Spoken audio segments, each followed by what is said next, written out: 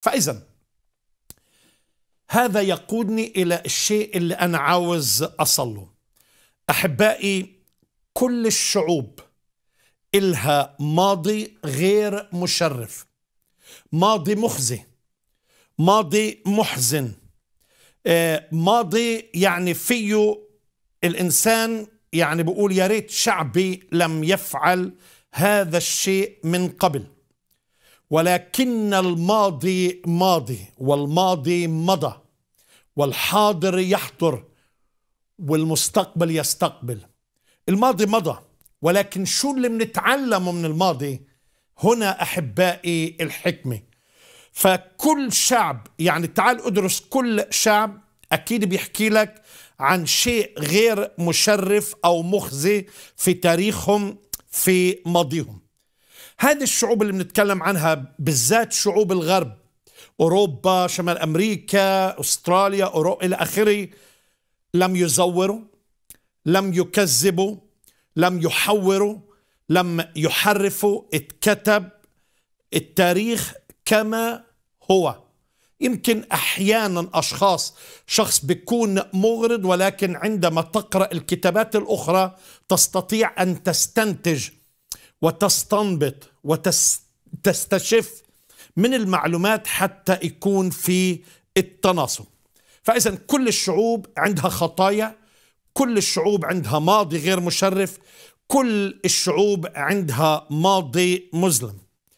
أحبائي خليني أبتدي حتى من ال ال الأشخاص اللي تعتبر يعني المقدسة في أمام عيون كثيرة. مثلا البابا نفسه بابا روما أقصد. اعتذر عما صدر من الكنيسة الكاثوليكية اللي حدث سواء في العصور الوسطى مع شعوب كثيرة ومؤخرا أحبائي ما اكتشف في كندا. تعرفوا إنه في كندا اكتشفوا مقابر بالمئات والآلاف من الأطفال مدفونين من السكان الأصليين واعترفوا وتابوا وعوضوا وما زالوا يعوضون. تعال للإسبان في فترة الفترة اللي كانوا بيكتشفوا فيها الأمريكتين.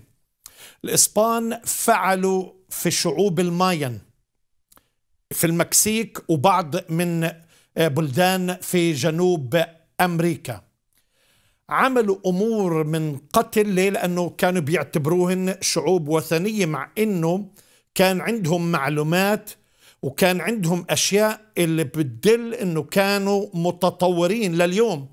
لما بتقرأ ال calendar الرزنامات الماين والتقويم بتاعهم وكل الأشياء بتستنتج يعني بتنذهل من كم يعني بذكروني في المصريين القدماء بتنذهل من الكم الهائل من المعلومات ولا إنه كانوا بيعتبروهن أوثان. ف ولكن يعني برضو اعترفوا بأعمالهم المشينة.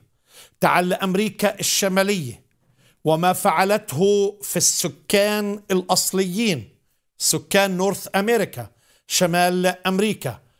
وطبعا المتاجرة بالعبيد.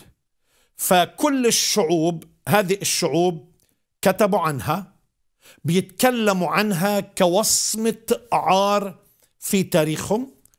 يقروا بها وبيعلموها في المدارس وقاموا بالتعويض. انه أي شخص في هذه البلاد أي كلمة فيها لمح يعني تلميح عنصري على طول كل السيستم كل نظام البلد يقوم ضد هذا الشخص.